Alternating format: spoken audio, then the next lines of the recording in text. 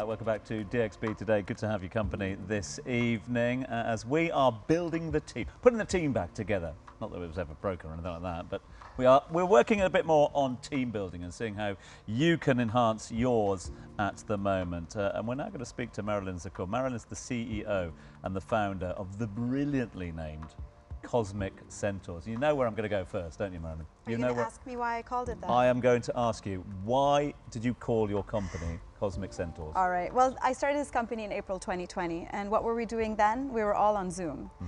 And so this was a bit of a joke about the fact that we were all going to be wearing corporate shirts and pajama bottoms Oh yeah. while being connected to each other virtually, so Yeah. we would all be centaurs. Ah, very There you nice indeed. And the cosmic? Well, everybody was using this background where they looked like they were floating in outer space, and I think post-pandemic, we're all in one way or another a cosmic centaur. So what have we learned from the pandemic? Obviously, we learned that a lot of things gone online. We, we, worked, we, worked, we learned that we could learn, we could work, we could do mm-hmm. everything online. But what did it teach us about our team building? Well, actually, I'd like to argue that we also learned that we know how to connect online. You gave the example earlier of playing video games. I think if we look at e-gamers, if we look at online communities, if we look at global companies, we do have to operate together as humans sometimes at a distance. Mm. And we learned that if we put in the right level of intentionality, if we put in the right rituals, even though for sure it's not the same kind of high fidelity interaction as an in person interaction, we still know how to build connections even if we're not in the same room. Mm. The, the, the line high fidelity interaction is just wonderful. And I noticed that you walked in holding some cards and you mm. immediately gave them to Thomas. And I want to know what's going on. What are we doing here today? Yeah, so one of the ways in which we build teams actually is to develop something called mutual knowledge. Okay. So it's how much I know about you and how much you know about me. Okay. That can be our working styles, our feedback preferences. It can also be stories from our childhood, our favorite foods, our favorite trees. And so during the pandemic, we saw that human connection and loneliness was such a big issue for mm. most people. And we wanted to help the companies that we support help their teams build connection. And one of the simplest ways that doesn't require any fancy equipment, doesn't require a budget, is just asking each other questions that go beyond the work interactions Ooh. and then listening to the answers. Okay, go on then, Tom. I'm really scared. Hit us with your best shot, Tom. Talk amongst yourselves. I'll pick a card. All right. Pick a card, any card. Talk right. amongst So yourselves. talk us It's through gonna this. It's literally he's literally just going to pick a card. That's the idea, right? Yes, so we have four categories in this because that's the version that's for teams, and two of them are related to work, and two of them are related to your personal story and your personal preferences. Go on, Alicia. The Go pressure. for a red one, yeah. The pressure. Oh, we Looks hand it to you? exciting. Sure, I can ask you the Okay. question. I'm happy to Goes over facilitate. To our These are the Centaur. the cosmic conversations. Fa- ask Faris first. Ask Faris first. He's got a big grin on his face, and I want to ruin it. All right. Tell me about your best friend. What do they bring to your life? Ah. My best friend is a fella called Majd, and he's great uh, because he's one of those friends that whenever there's something like, "Do you want to come with me?" He's immediately yes. He's not like, "I'm too busy" or "I can't be bothered," "I'm too tired." He's like, "Yes," because you're going to be there, and I think that's really good in a best friend. Alicia. Bad things, probably. Oh. No, good Partner things that crime? are. Yes, there we go. good. Us doing. We're really good at doing bad things. Yeah. Oh, nice. It's all the same. Go on, Tom. Have you got any friends, me, Tom? is? This is your errand Uh, friend, your drive away car friend.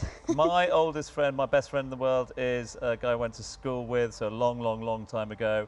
Uh, we don't speak to each other for maybe a couple of years um, at a time, but when we get back together, it's like we're back at school. Right? Yeah, it's perfect. And we do some really bad things. No, guys, guys. Uh, my best friend is uh, Sam. I've known her since we were at school together when we were two. And now we're a lot older than two. Um, she's still in the UK, and I've lived here 16 years. She's afraid of flying. She's been here once, and it was the best time ever. But as you say, so you can be disconnected, especially in an expat community, and you can be together. Sam, this is your invitation to join us. Yeah, yeah. But see, now I know Majid and Sam, and I can ask you questions about what you're up to when you saw your friends, and suddenly we have something new to connect about. You notice that Alicia never gave the name of her That's partner in crime. Not until the investigation. Not until the investigation. investigation's pending. But this is really interesting. So, how do people, you know, get in touch with you and reach out to you, and what, Sure. and why would people get reach out to you? Like, how big does their team need to be? Tell us a little bit more about that. I mean, I don't think there's a limit to the size of a team. A team can be as small as four people or as big as, I mean, usually teams go up to 10 or 15. Beyond that, it's a department or a function. Yeah. So, um, I mean, you can find these cards on Amazon, on our website, etc. But um, the work that we do is not just the team building piece. We do what's called organizational development, which is actually helping leaders identify what's getting in the way of their companies delivering and then unblocking those things for them.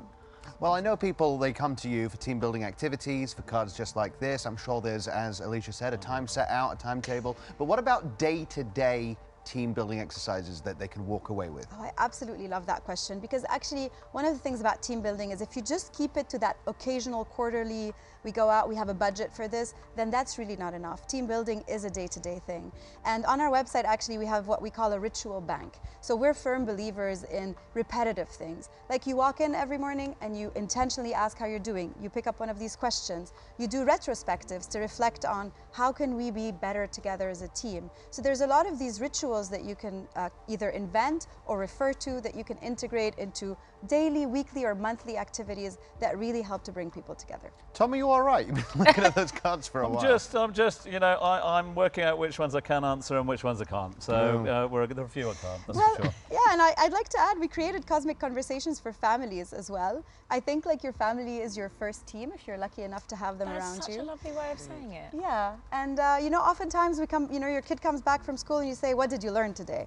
That's but maybe worst there's a lot of other Oh. things that they want to tell you and you never ask. So we created a version for families.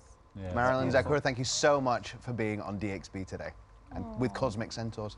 But now, Alicia, we're going to put you in the hot seat, right? Because we have a little quiz for you. Well, not a quiz. We want to get to know you as quickly as possible.